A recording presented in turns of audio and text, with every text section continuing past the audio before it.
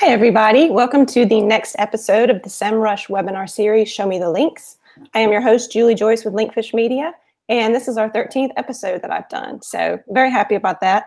Um, we've got great guests today, as always. We have Carrie Rose from Rise at Seven and Mark Lindquist from Mailshake. So our topic today is building and leveraging relationships to consistently earn high quality links from great content because these guys tend to work with, you know, really good stuff. So they have a lot of great things to say. And we'll start out with defining, you know, what we mean by good links and good content. But first of all, I wanted to turn it over to Carrie for an introduction. So if you could just tell us who you are, what you do, where you are. Yeah, sure. So, hi, I'm Carrie.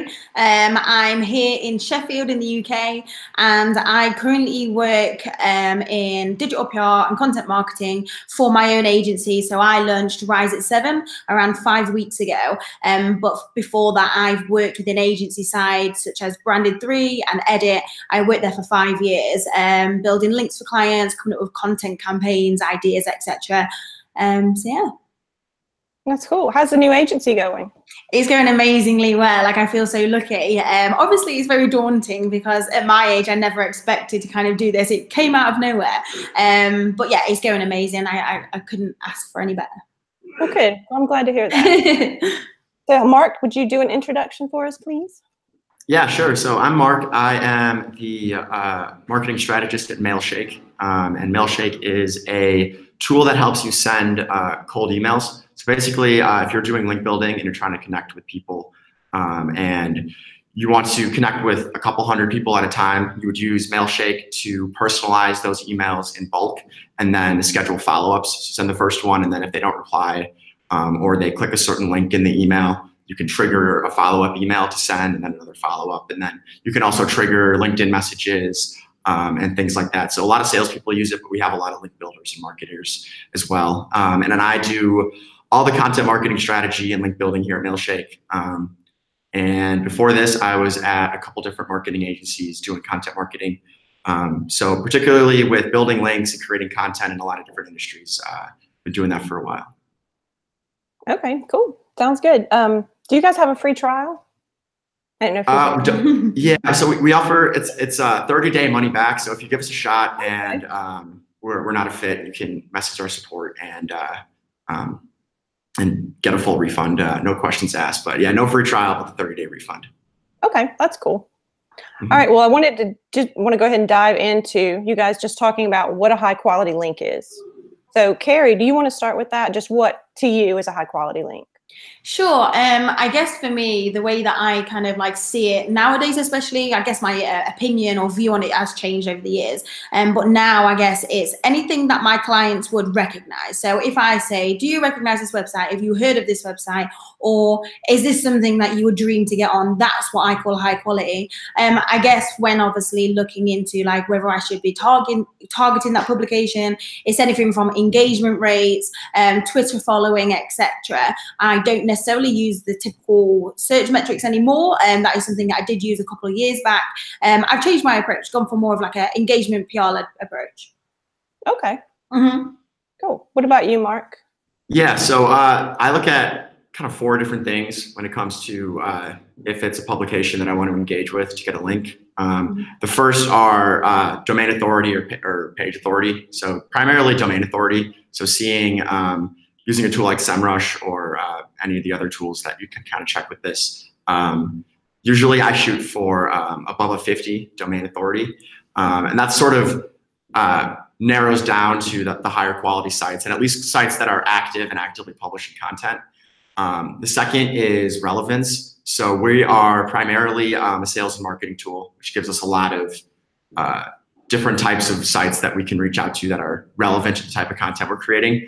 Um, and the third is uh, the anchor text. So uh, if I can get, if we're trying to build links, for instance, to an article that is about cold email, if we can get uh, the link text to be related to cold email, um, that's generally what we shoot for.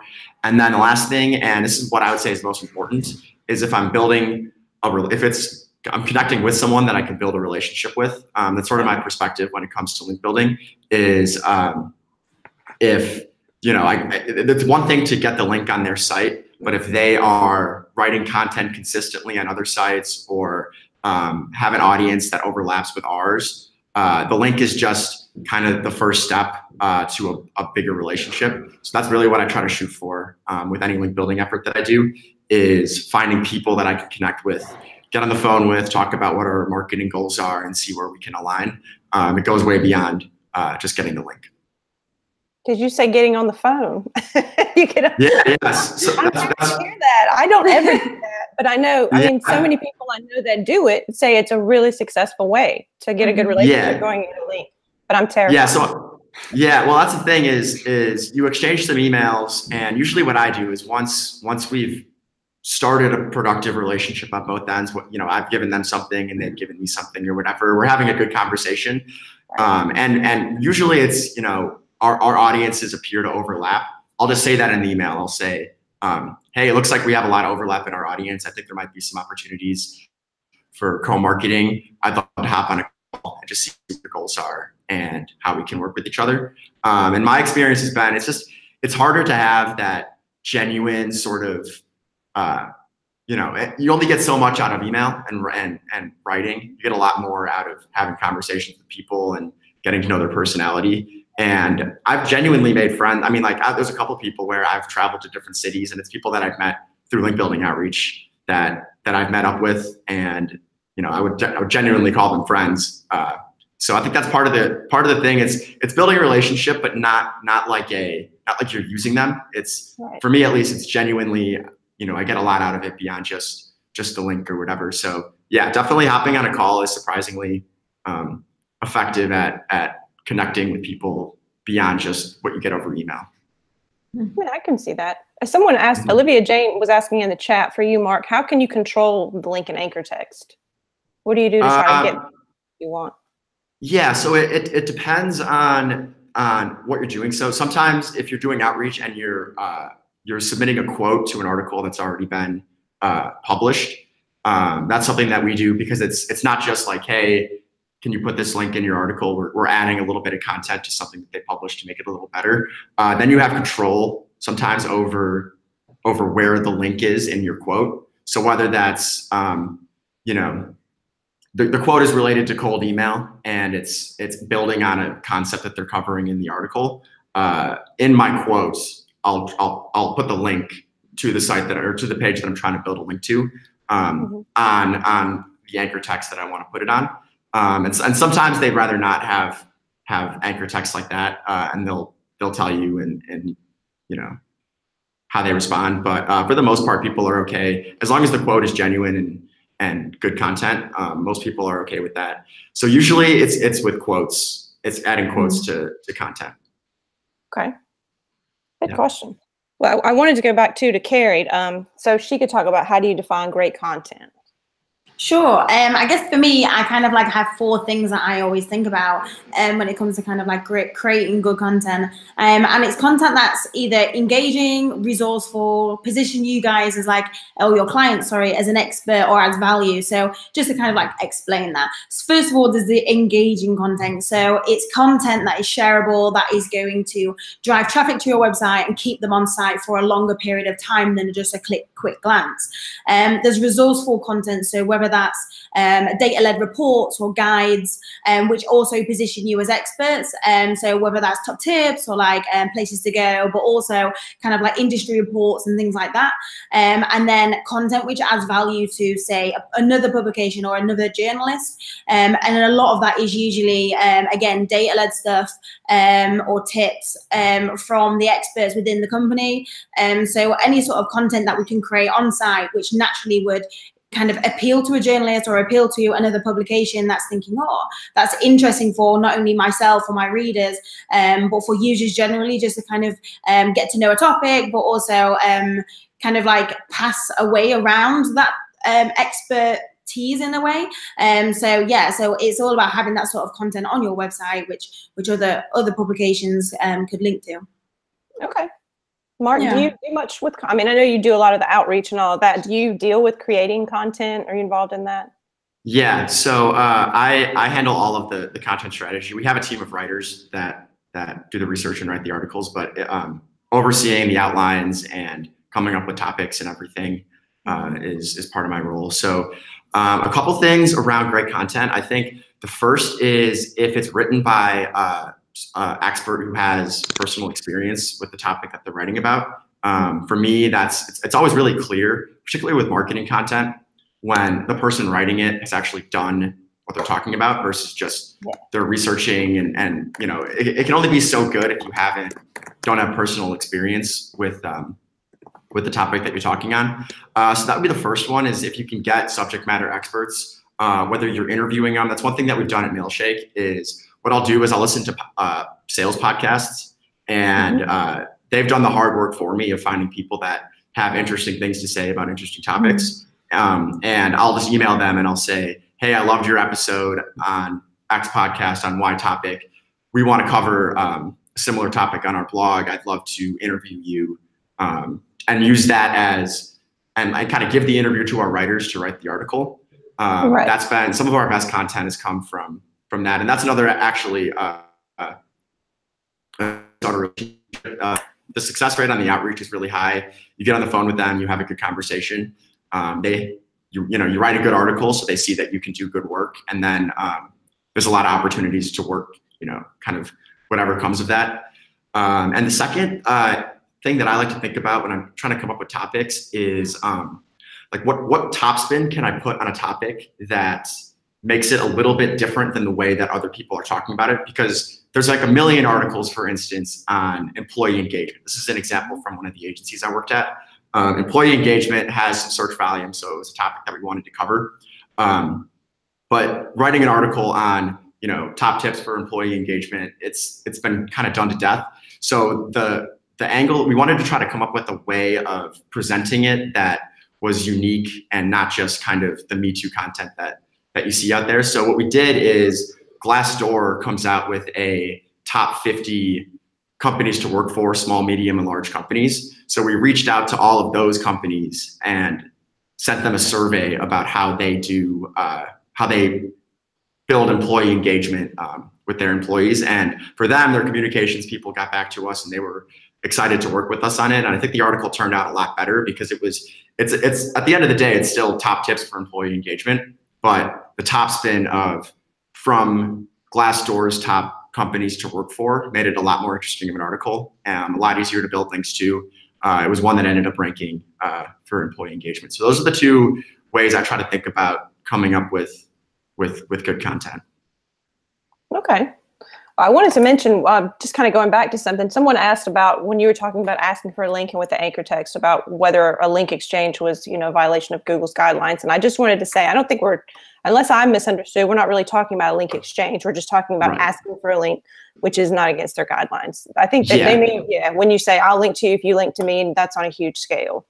So yeah, so yeah. That, that's right. I think if you, uh, you know, a link for a link on each other's sites, I think it's really easy for Google to identify when that happens and then devalue the links. If, and if you do too much of it, they might they might penalize manually the site. So I wouldn't recommend doing a direct link trade.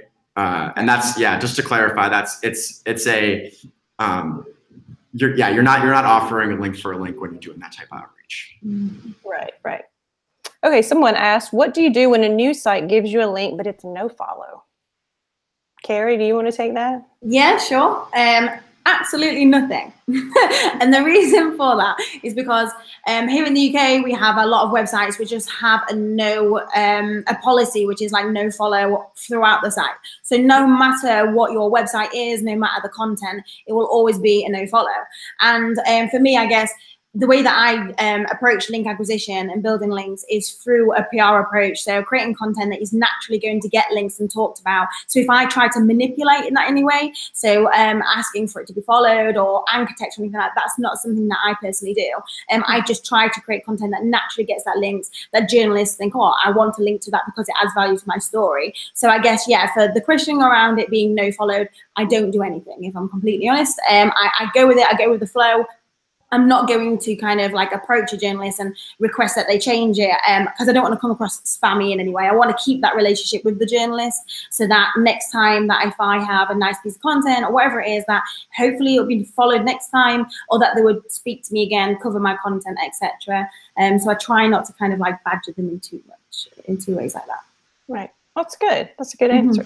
while I had Yeah, you, I- oh, go ahead. I'm sorry. I just want to, yeah, I think to build on that, uh, for, yeah, I think if you're, if you're doing outreach to, uh, to larger publications, or if you're, if you're trying to get links on larger publications or connect with journalists, I think that that's definitely the approach. Um, you definitely don't want to come off as Yeah. spammy or desperate or, uh, kind of contributing to the noise that these people are hearing all the time. Um, especially again, larger publications, the ones that your clients have heard of that that you were talking about is one of your definitions of of a quality uh, link. It's you prioritize the relationship first. Um, so yeah, I definitely agree with Carrie on that for sure. Okay. Sorry, I didn't ask you. I was, I was, I'm thinking No, no, no, here. yeah. I need to make sure I'm asking you both all this.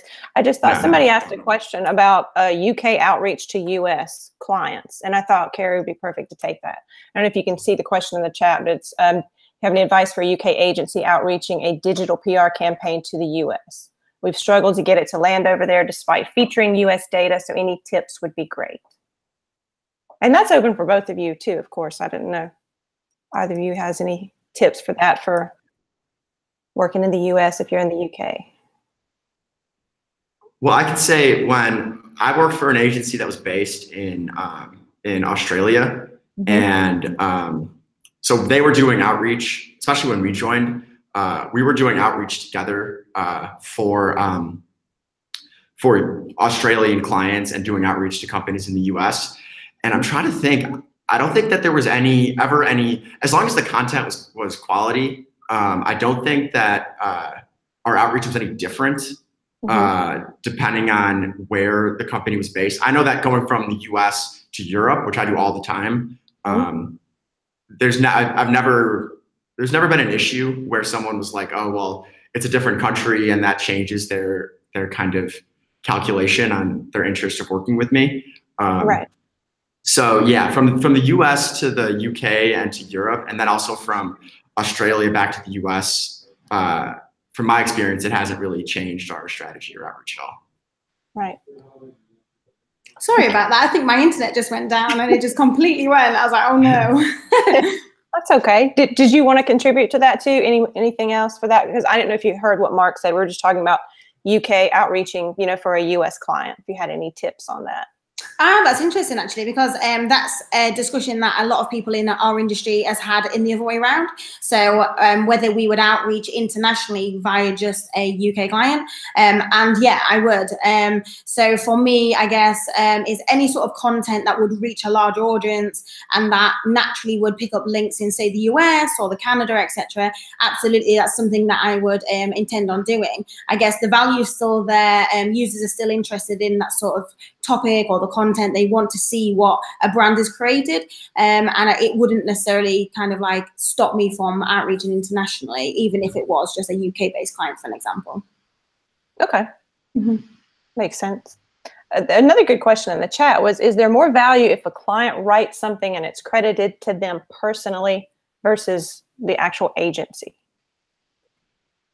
Does it matter to you? Um, mean, Who was? Uh, in my experience, it's um, if if the client a if the client can can actually write content, or Mhm. you can even just if they have a lot of subject matter expertise, and you can interview them and write content on their behalf, and they can build a brand within uh, the the industry, and um, and you can leverage that. Uh, that's something that we've when we can we try to do. We do it at Mailshake. Uh, the founder of Mailshake, Sujan Patel, has a brand within the marketing space Mhm. and um, I mean he's he's built that over a long period of time creating content, and that's been really valuable for us. So, uh, Carrie, I'd be interested to get your thoughts on this. But um, I, if, if a if a client is interested and capable of contributing or creating great content and yeah can be the author, that's something that we that I've seen work really well.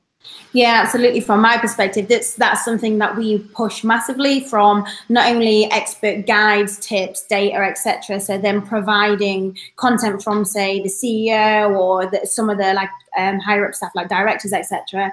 Um, but newsjacking as well is a big strategy that we use. So newsjacking, just to kind of define that, is say if there is a certain topic in the press um, that is going viral or being talked about a lot, we would then get somebody in client side to provide expert tips or commentary on that and push that to press. So to put that into perspective, or what that means is, um, say if there is a story in the press regarding cryptocurrency, we would then go to our client and say, okay, we have an expert in cryptocurrency or this guy that kind of like knows um, uh, or has some data or an opinion on that. Can you can we gather that and then push it out to press? So it, yeah, I 100% agree with Mark in terms of building them um, as experts because that's where people want to come to. They want to come to people and not a brand. Um, so I find that's the biggest thing that we do is build um, the personalities within the company rather than the brand itself. Does that make sense? Okay. And someone asked a question in the chat that was kind of related to that. What about repurposing existing news stories with a twist, which is kind of what you're talking about, you know, just or grabbing something from news. Yeah. They were asking, do you think that's a good strategy to start out with? Oh, absolutely. I actually would call that the number one strategy. And the reason for that is um, the best performing content from a links perspective or from a results perspective has been content that's been relevant now. So, say if that's something in the news that's going on. Um, I don't know whether Love Island is quite big internationally, but it's a, a big topic in the UK. I've heard all about it. um, definitely, if you get a chance to watch it, it's, it's a fun watch.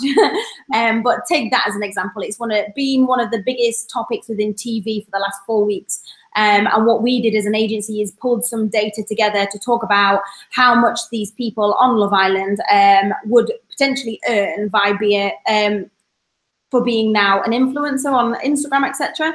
So we reacted to kind of a topic that was in the press. It was going viral. It was something that everybody was talking about, and put another angle or another spin on it. So yeah, definitely, I, that's um, a great kind of way of monitoring press, monitoring topics through Google Trends, um, looking at Twitter every morning, seeing what everyone's talking about, and reacting with expertise or data or something. Okay, I wanted to go back to some of the submitted questions before I forget to do that um, Mhm. because uh, I just had one one from Mark about Mailshake that someone had asked, how do you keep Mailshake compliant to the rules of CASL, Canadian Spam Law? Yeah, so uh, whether it's like GDPR or CAN spam or CASL or any of the um, any of those spam laws, um, Mailshake as a product is is compliant with all of them in the sense that uh, and in the way that we hold your data and the way that um, we allow you to completely delete and erase data from the platform and everything. Um, so the Mailshake platform is is compliant. The question more so is is in the way that you use the platform. So basically, Mailshake connects into your email and allows you to send personalized emails in bulk. Um, and that can or can't or could not be GDPR CASL compliant, depending on how you do it. Um, so there's a couple different ways of of staying compliant with that, um, including a way for people to unsubscribe, whether that's a link or you just put a PS. If you don't want to hear from me, just reply with remove me or whatever, and then Mailshake will take them off the list immediately. Um, but having a, having a clear way for people to unsubscribe is one really um, essential way to stay compliant with that. Um, and I don't want to give any legal advice with this. We have an article that is based off of uh, what real lawyers have talked about of staying compliant with with GDPR, which, from my understanding, is the strictest of all of the uh, spam uh, compliance rules. Uh, so I can I can share that maybe in the chat, uh, or we can we can share it after. Uh, but um, yeah, the Mailshake is compliant. It's it's the way you use it that can make you compliant or not, basically. Okay. And another question we had um, was from Alice, who had submitted this question about state.gov links. And I don't know if either of you do that much with it. I don't tend to do much with government link building, you know, trying to get gov links. But if, if either of you have anything to say on that, I'd be happy to hear it. I was just, I guess, in general, when people ask about that, I'm kind of curious as to if it, you know, if they actually are going to be relevant links or, you know, we're told kind of like the gold standard, people still want to get gov links and edu links. So do you guys have any thoughts on that? Yeah, for me, I guess it's not part of my main strategy. Um, but if I can get an education link or anything like that, then that's an absolute bonus. And the best ways to do that I've found is um, reports. Um, so whether that's positioning data around a certain topic, um, there was one, for an example, a campaign that I did. This was about three years ago, and what we actually did was um, conducted a bit of an analysis of bacteria in the London Underground. So it's a bit of like a science experiment. Um, but that um, not only got links from the Daily Mail, the BBC, and things like that, but um, some of the universities linked to the research um, as like a report. Um, because we did work with students on like the um, experiment, ga- gathering the bacteria samples, etc. Um, Right. And also, like recently, um, I got a link um, to my own website, um, Rise at Seven, um, purely from an interview perspective. So they kind of saw me as a success story. So then they interviewed me of like what's happened to me since graduating university, for an example, and um, how I kind of went on to like run my own business. Um, so if you have like nice like um, business stories and stuff to pitch to older um, universities that you went to. So that's like a good way for like university links um, and government links, especially um, is from data-led reports, anything kind of like local, um, whether that's like looking into safety, crime, stuff like that. And um, that's where uh, a lot of gov links come from. Mhm. Okay. Good Yeah, answer. and I I have a friend that actually, so I don't do the .gov or .edu link building, um, uh, just because I, I I tend to try to find people that are in the the marketing or sales spaces and then build off of that. Uh, but I know someone who uh, basically did an ego bait play for .edu links. So he he runs a uh, basically Uber for lawn care is the way he describes it, and um, they wrote a bunch of articles like the top 10 uh, uh, like lawn and gardens or whatever in in like the top 10 colleges with the best lawns in the midwest and in Mm. the east coast and in the south and whatever and they got a ton of links from all of these schools because they just ranked them in the top 10 and then emailed them and like hey we just you know this lawn care company just ranked you as like the the best lawn in georgia or something Yeah. and uh, they got like 30 links 30.edu links just from writing these these listicles Hmm. um, so i guess ego bait works pretty well for the edu links Yeah. um, and gov i know that people the, the the one that i've seen is is resource page link building. A lot of Mm. gov or edu sites have have pages dedicated linking out to resources. I'd imagine that they get pitched a lot um, so it might be tough especially now that it's it's become i think maybe like five years ago when it was first picking up um, it was it might have been easier. Uh, another one that people used to do that i don't imagine works as well anymore is um, sponsoring um, uh, what's it called? Uh, scholarships. So you do like a thousand dollar scholarship for you know someone go like my buddy actually did this also with in the lawn and garden space. So people going into some outdoor related major he sponsored a scholarship at universities and then they put a link to his scholarship page on their on their their resource page. Um, so that's another one that's pretty common I, I think that that's that was another one that was really good five years ago i'm not sure how good it is now Okay. I want to go back to some of the questions that we had on the list for a second and then kind of jump back in because Lily had submitted a question asking, can you still get penalized by having poor quality backlinks? Because supposedly the new Google algorithm update should not take bad links into account. So what do you guys think about that? Yeah, someone asked me the same question recently, um, and it was actually a competitor in their industry was caught kind of like doing a lot of like spammy link building stuff, and they felt like annoyed that they wouldn't get penalized for it. Um, and I, the way that I kind of explained it is, but what they're doing is spending a lot of money on, say, doing this sort of stuff, and although they might not be getting penalized, they're not seeing any growth. Um, so for the next 12 months, you might actually see that um, nothing happens and they're spending so much money and you're seeing growth um, because you're doing everything right. Um, so yeah, I guess um, the way that Google's kind of changed is is constantly looking at the backlink profile and rating you based on quality now and relevance, etc. Um, so rather than kind of like penalizing for bad, um, bad and unethical stuff, um, it's more just kind of ignoring it and I don't know, it's wasting your budget in a sense. Right. What do you think, Mark? Yeah. Yeah, I think if if you're doing uh, spammy outreach and getting links on spammy sites, eventually Google, you know, the algorithms will keep getting better because that's it's clearly what they don't want you to do is to be able to do, you know, that there used to be PBNs back in the day where you could people would buy a bunch of domains and sell the links, and Google picked up on that, and and you know I, I think most people can recognize if the site is is spammy or the type of outreach they're doing feels spammy, and if eventually sooner or later Google will recognize that and either penalize you or devalue the links. Um, so it's just whether even if it works right now, some some tactic works well right now, uh, but it's it's like it's clearly kind of spammy. It's just it's not a long term business strategy, even if it's effective in in the short term. So I would just stay away from that because there's there's no there's no long term value there. Yeah, and I kind of agree with Carrie. I, I mean, I used to think bad links would hurt you, and I'm, I'm kind of of the opinion now that from what I've seen, I think they're probably mostly ignored. No, I'm not saying go get them because that is a complete waste of money.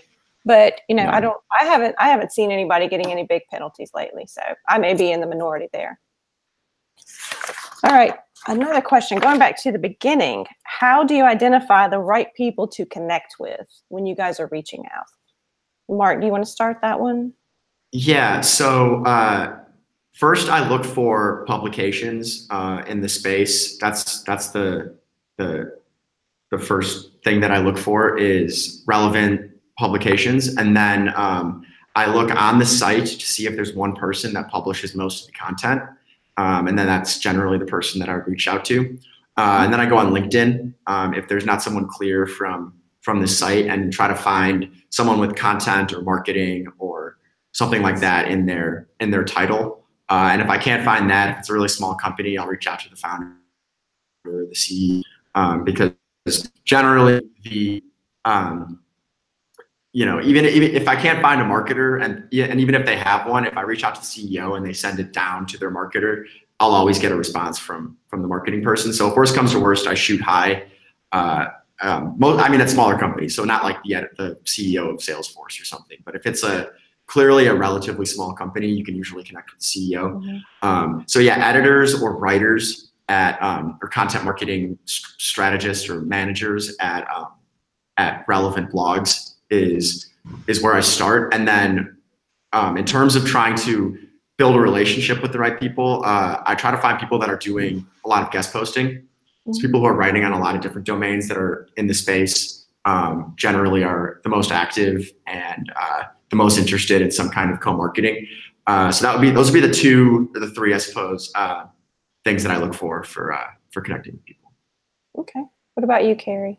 Yeah, similar approach, um, but that little bit different in a sense of, um, for me, kind of I mainly only ever target um, your top tier publications and news news sites, etc. So I'm mostly connecting with journalists, editors, writers, and to kind of like target obviously the most relevant ones and the right ones. Um, I usually start just by googling the topic. So if, for an example, I have a story on Disney, I would just Google Disney. Let's look at what journalists are already talking about Disney as a topic um, within the last say three months, and then I would use a database called Gorkana or there's others like Vuelio. What other ones are there? Um, there's a couple of others out there, just a journalist database, um, and then would get their contact um, and then like pitch my story in. Um, so that way that you're not hammering anybody that's within the entertainment space, for an example, if it's Disney related, but you're literally targeting the right people that talk about Disney every single day, maybe. Um, and in terms of them building the relationship, so I usually do interact with them on Twitter and stuff like that. So journalists um, over here, like they have not a lot of time nowadays to kind of build relationships with PRs like myself.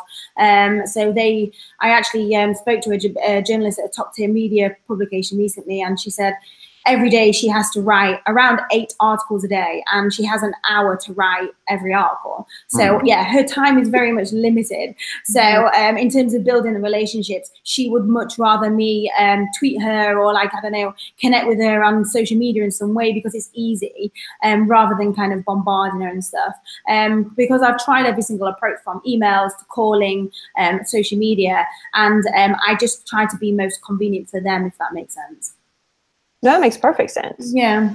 So when you I, go ahead. Go ahead. Sorry, I, I, I, had something. Just one more thing to say on on. I think I can get a little more specific on finding uh, the right.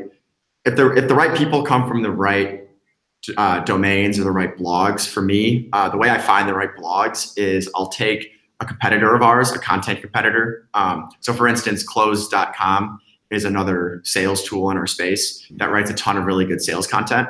And I'll punch them into SEMrush and Mhm. see all the sites that are linking back to them. Yeah. Because presumably a lot of them will be relevant and writing sales content. And then um, there is a manual element to this where you just pop in, follow the link, see if they're publishing publishing frequently or recently, um, and if they actually are relevant to sales or marketing, or if it was just kind of a one-off link.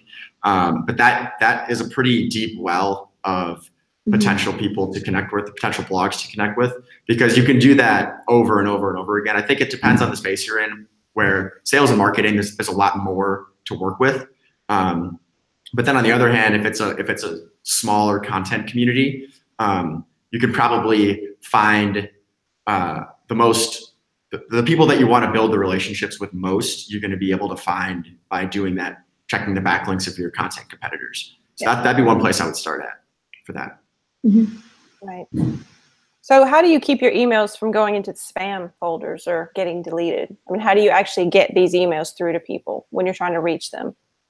Have any tips on that? yes yeah i can i can speak to that so uh, the first is um, is if you, if you have a new domain or you haven't been sending a lot of emails um, google and other other spam checkers are really skeptical of the domain that you're sending from so you can't start with a new email address and send a thousand emails a day because uh, you'll immediately get picked up and marked as spam and um, once once you get a bad sender reputation, you might as well toss the domain. It's really hard to overcome that. And then you can't just make a new e- email Mhm. and start from scratch because you've been been flagged. Um, so the first thing that I would do is, if you haven't been doing a lot of outreach, is to start small and um, you know a couple emails a day and build up from that. Uh, so that would be the first one. And then uh, the second is uh, not doing huge send outs. So I never really do more than 60 to 80 emails in a in a single campaign. Um, and it's usually it's usually less than that. So like some people will do really spray and pray kind of uh, hu- hundreds or thousands of emails all at once. Mhm. Um, and all it takes is a few people to start marking you as spam or for your open rate to be really bad uh, for for you to start building that bad reputation. So it's just like I think it's not effective. First of all, I mean, so eventually the math will work out where if you reach out to a million people and you get a 0.001 percent success rate, you know, the you'll that that'll be a good number of links. But it's it's just more effective in the long term to do smaller batches of outreach that you can personalize more effectively. And then um, if if your open rates and and reply rates are are good on those smaller batches of outreach, um, you shouldn't have an issue. I do, we do a ton of outreach at Mailshake. We have a couple different people doing like building outreach, um, and it's all in those relatively small batches, and we've never had an issue with uh, with reaching people's reaching people's inboxes and avoiding the promotions tab. Okay. Yeah, and, I, and from my side, um, so I've never really had any issues from kind of like um, the junk side either, getting into the junk folders. But um, one person did tell me that if you include way too many links within your email, for an example, so like linking off to different parts of your website, or if you're attaching, say, a video into the email, a lot of the time that can shoot it to the junk folder. So that's something that I try to kind of refrain from doing. So if I really want to send a video piece, for an example, I would just do a screenshot image of it and then link to the video through a, either a Dropbox or a YouTube or wherever the video is hosted, etc. Um, so yes, I know that other people have had issues and then solved it through those ways. That's a good yeah. Uh, Yeah, attaching for sure. That's a good point, Carrie. Definitely don't send attachments in, in Mm. cold outreach. Uh, those will often get picked up as spam. Um, and then there's also uh, and then and then also links. So that's a really good point as well. Um, if you're tracking opens on your emails, that's actually a link. That's how that tracking system works. So uh, keep that in mind as that if you're tracking opens, that counts as having a link.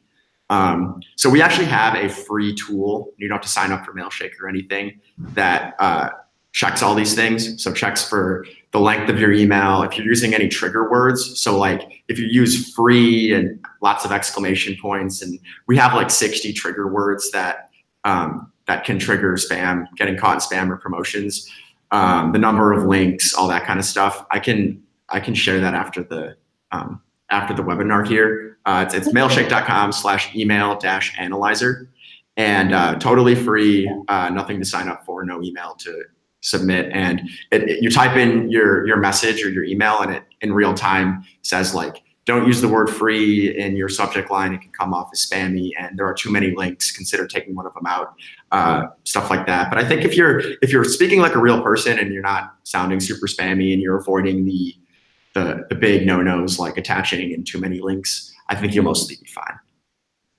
Okay, I think uh, SEMrush have just put that into the chat for the link for that. So thank you for that. Oh, perfect. Yeah. Yeah, that's great. Thank you. What do you guys, what do you think about making each outreach email personalized? Do you try to do that? I don't know how many emails, you know, you send out. If you're sending out 100 at a time, I don't know how you make that completely personalized, but what are your thoughts on that?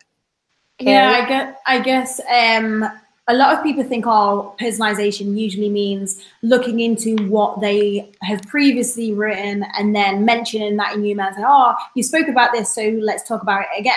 However um, i guess for me for personalization is just making sure you know what they already write about as topics and saying hi i think you might like this because i know you already talk about it. And um, you don't need to go into too much detail. Um, so obviously going into every single email outreach would take a lot of time to personalize um, but making sure it's relevant. So relevance is the big, the biggest thing for me. Um, so like, oh, I know that they have spoke about this topic or passionate about it in some way. Um, so I'm going to kind of reach out to them. Um, yeah, so I guess if yeah. you do your research, you know, before you actually yeah. blast out a ton of emails. yeah. yeah, I definitely agree with Carrie. I don't. I think uh, um, having a good idea about like general topic they tend to it's, I, it's the exact same for me. So when i'm doing research for choosing the publications i'm going to reach out to um, i'll put in like a phrase that's like uh, just that it's like the general topics that they cover. So like if they have a lot of articles about sales prospecting outreach for instance i'll put that in a column in my spreadsheet. And then with mailshake you can you can add those as text replacements. So i'll say something like I'll have a template that's like, hi, first name, uh, love what you're doing on name of blog, blog. Um, and uh, we cover a lot of the same topics specifically around, and then that little phrase that we cover the same topics for. Um, so just finding that that common ground um, and making it clear that that you've actually looked at their blog and it's not just a totally again spray and pray type of outreach. Uh, but yeah, just making sure that you're you're referencing the type of content that they create, um, I think is a good place to start. I think it's it's it's important to personalize to some degree, um, but if you can get a template and then kind of um, 80-20 it from there, uh, at some point it doesn't move the needle that much if you're going to write a 100% personalized every single email. It's like maybe that'll get you, you know, an extra 10%, but uh, the amount of time that's going to take to do that, uh, starting with a template and personalizing off of that is, is makes more business sense. Right. Okay. Well, I was going to switch topics because we had a few people ask about reporting. Um, I know we had talked about no follow links earlier where Carrie was saying that was totally fine. We do have a question. So if you're reporting your links to your client, you know, talking about this, do you report links on syndicated networks? And I know recently I've been reading some people say, you know, if you if you have a piece of content and it gets syndicated across 100 sites, they would count that as 100 links. Some people say they would only count that as one link. What do you guys think about that? Or or it could be on a scrape site too. So if Scraper picked up your content, would you count that as a link? Does that make sense? Yeah, that makes sense. Um, so for me, I do report on it as a link, but I will always kind of label it as what it is. So I'll be very kind of like honest and communicating what that is.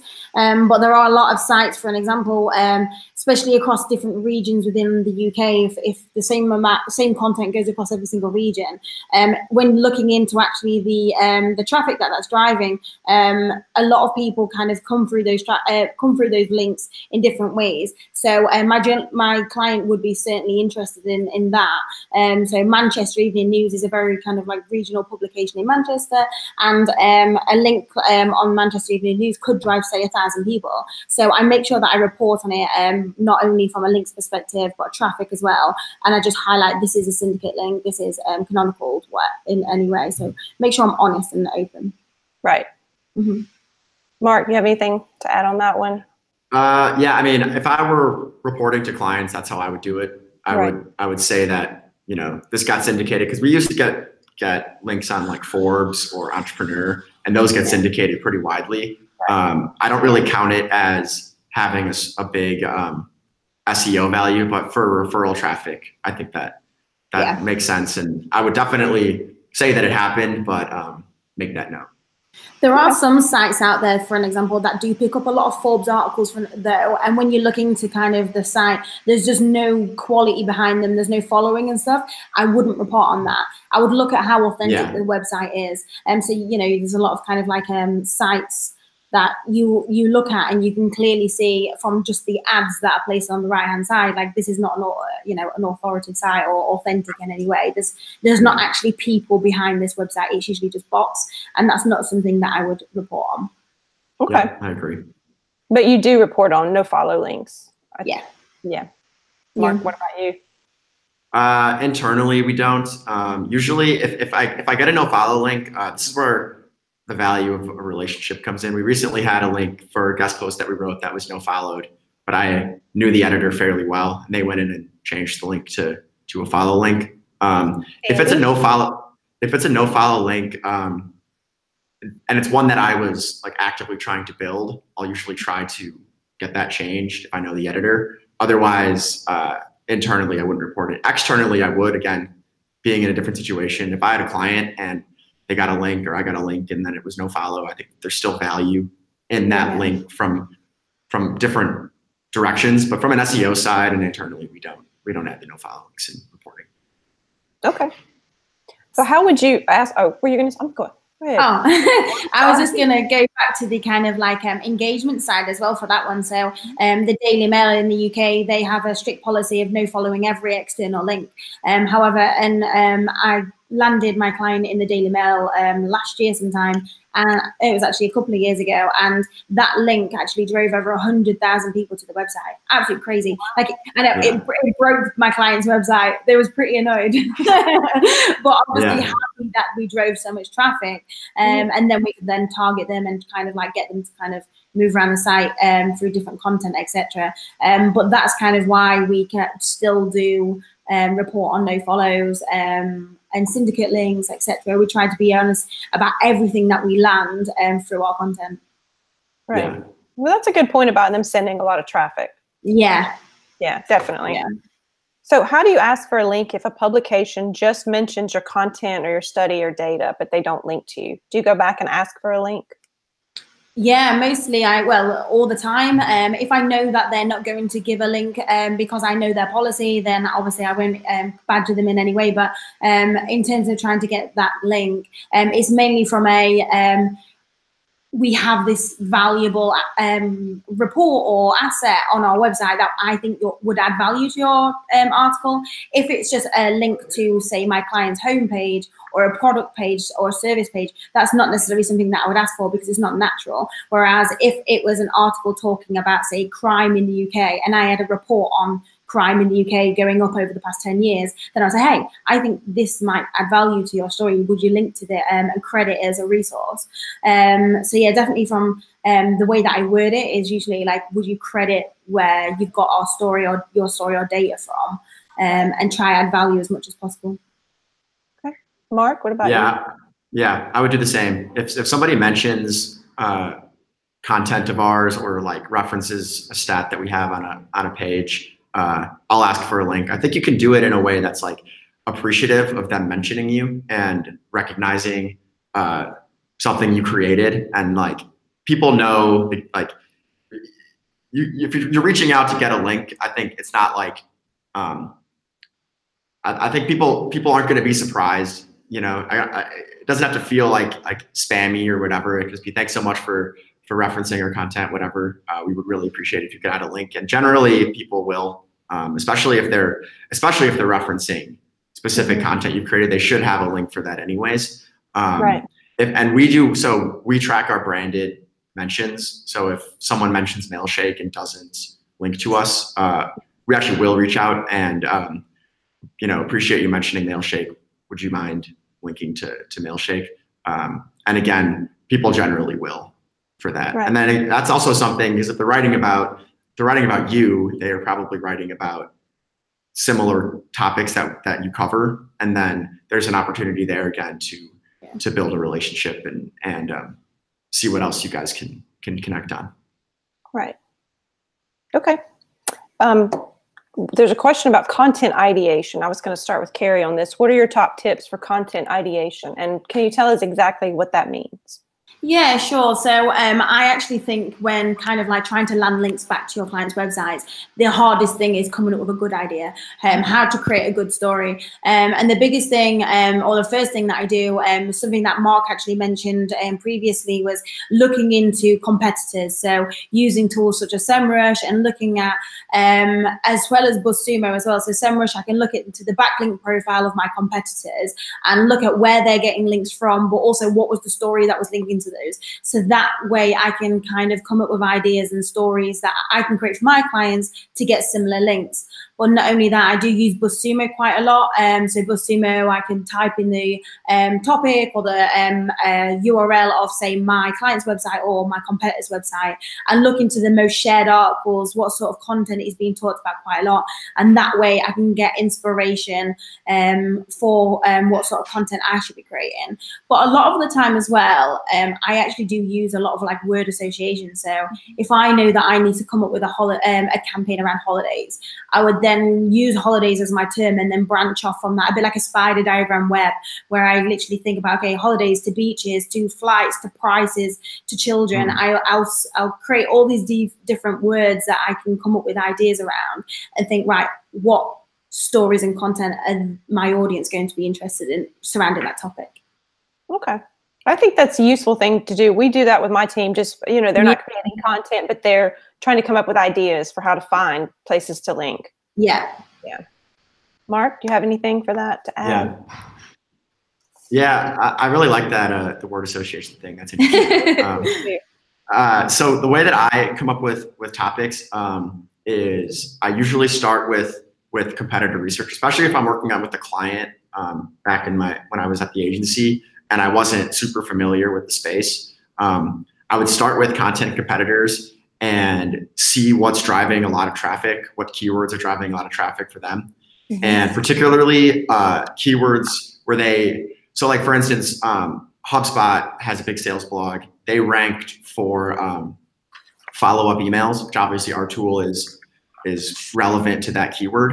Um, Mhm. but what they ranked on the second page for was follow-up email after no response which is a, you know you would have thought that there would be more like more direct overlap in that in that keyword but they were on the second page for that and there was actually a ton of volume for that so uh, and and it wasn't as competitive as as follow up emails. So we wrote an article about follow up email after no response that drives a huge amount of traffic uh, to the Mailshake blog, and that was all based off of keying off of what other content competitors um, kind of have already done the hard work of of seeing what um, seeing what actually drives uh, drives uh, traffic volume. And um, so I usually start with that. And then to kind of bring back to my my previous point about about topspin um, i don't know if that's the best phrasing for it but that's that's what i found has been useful for me. It's um, taking the keyword starting with the a list of keywords and then thinking about what can i how can we write this in a way that makes it interesting or unique or a little different? So it's not just longer like oh the top one or the top article for this is 2000 words let's make ours 4000 words it'll be better it's like how can we change it up just a little bit um, to make it interesting and different um, so that's that's where i spend a lot of time when it comes to ideation is is finding that uh, finding that top spin Okay. We have, looks like we have about five, six minutes left. So I was going to try to get a few more of the submitted questions from the chat. One is, how do you keep track of all of your clients' content for when the opportunity comes up for a link? So I guess that means maybe you had something that you did six months ago. Do you think about that and like you might see an opportunity and you think, oh, well, here's an opportunity to get a link to something we did a while back. Do you guys Yeah. do? And, and I mean, how do you organize that if you have a lot of content? Yeah, sure. I guess obviously it's getting to understand your client's website inside out. So doing a lot of research in the beforehand. But um, for me, I have a lot of like alerts set up. So whether that's Google alerts or similar, um, so that I know, okay, if um, this topic is mentioned, then it will come into my inbox and then I can react fast. Um, but from from my perspective, um, I guess um, it's just being aware and just knowing what sort of content that we can react to anyway and even if it's not content that's already on the website um, that we can create um, quite quick or fast to be able to get into the press. Um, but yeah, it's just kind of like monitoring live um, and making sure that um, we um, use like tools like Google um, Trends and stuff um, to spot opportunities in that way. Okay. Mark? Um, so, you know, I've been managing the content at Mailshake long enough where Hmm. uh, any anything that we're trying to to build links to is one that I was a part of coming up with. So it's it's easier for me when I'm not I'm only managing one client, which is the company I work for. So it's it's not quite the same, I think, Right. for for managing that. It's it's a lot. We had a question in the chat. Um, we had talked a little bit earlier about emails um, versus the phone, and my friend David had asked a question: which is the fastest? Which is the best way to land a link, the email or the phone? Now, I know Mark, you said you will get on the phone, and I shuddered, and I, can't, I can't, I can't, handle it. Yeah. But I mean, how, Carrie, do you ever get on the phone to get in, to get a link? Um, no, not really. I used to. I guess um, at a previous agency, they tried to push it as much as possible. Um, they saw it in a traditional PR perspective of go and build relationships, pick up the phone. But I think nowadays journalists just, or especially writers and editors, don't have the time to kind of listen to me on the phone. They would much rather like me drop them an email um, or send them a tweet. Um, so yeah, I definitely use alternative ways like that. I've done it before where I've called, say, a journalist, and they've literally said to me, "I'm really sorry, I'm busy. Can you just drop that in an email?" Um, so I'm like, "Okay, cool." Um, so I, yeah, I, I always resort to um, emails or, or Twitter to pitch to um, editors. Right. Yeah. And just to clarify, I would never cold call to get a link. Right. Uh, right. this is usually I've already gotten the link. If I'm Oh, getting on, a, on a call with someone, um, it's we, we have a relationship. We've exchanged a handful of emails, and I there's like an opportunity for both of us to help each other out, whether that's more link building or or um, you know product partner like uh, integrations or something like that. I would never cold call to get a link. I think especially marketers. Um, so we run a lot of content for sales, so I'm kind of in that space a lot. But um, marketers, I think. Uh, would would not want to receive a call. I think it'd be hard to even find their phone number. Uh, I would imagine journalists at least get that sometimes. I couldn't imagine somebody calling me and being like, "Hey, like, I loved your article on this. Would you mind like adding?" Like, I would never do that. Yeah. So the, the, the phone, getting on the yeah, getting on the phone is to like is to to build the relationship. It's not to yeah, yeah. to land Right. a link. Okay. And somebody asked, would you rather have, now we're talking about DA here, uh, one DA 70 link or two DR 40 links? Now, my, I, I am big on relevance and not really the numbers, but I'm curious what you guys would think about that. Um, yeah, that's a good question. I think uh, that the thing about the, the DR stuff is it's like, you know, I, I'm not exactly sure what to, to kind of make of it sometimes because it's it's just like it's a guess that Moz or SEMrush or Ahrefs are are coming up with about the the, the value of the the public the blog. I think relevance is I would probably rather have two 40 DA links that are more relevant than the 170 DA link. But it also depends. I think it depends on a lot of things. If if uh, um, if there's an opportunity for something beyond just that one link from the higher value, higher DA site, uh, I guess I might rather take that. I don't really think about it in terms of a trade off between would I rather get a 70 or 240. Um, I think that that there's there's a lot to that that it's it's it's hard for me to even have an opinion on which I prefer. Yeah, I think it goes back to the whole quality quantity debate. So, like, Yeah. would I rather get like 10 to 20 links, or would I rather get like, you know, a couple which are like high quality? Or for me, like, I would always go for the high quality, even if it's just the one. Um, but um, yeah, it, it, it goes down to um, those to kind of like that debate that a lot of people I have that still to this day. So like still clients this day would rather have a hundred links on really small blogs or sites. Um, and I'm like, oh, that's not on my approach. I'd rather much go for the quality stuff, even if it's two, three.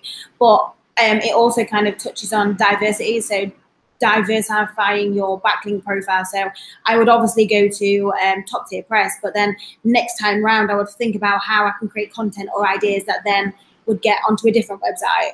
Um, so that I'm not always going to the same websites that we're thinking about how to um, get in front of new audiences. Right. And uh, Andy Simpson just said in the chat, depends on where your audience is as well. So Yeah. I think that's very true. Yeah. Yeah, for sure. Well, I guess we will have to end with that because it is one o'clock. We've been here an hour, which always amazes me when we come to the end. I know. a lot we didn't cover. So um, I'm sure you guys would be happy to answer any questions on Twitter if anybody Yeah. reaches out. I certainly would as well. And um, I appreciate everybody joining us. It's really nice that everybody, you know, participates in the chat and helps us socialize this. So been a lot of fun. And this will definitely be one that I will have to watch again when I'm not so focused on the next question. Yeah, a lot of a lot of great answers in here. So I really appreciate you guys. Appreciate everybody Yeah. joining. And Thanks we for will see you having next. me. Oh yeah, thank you. We'll see Thank you you. in a month. Bye. Bye.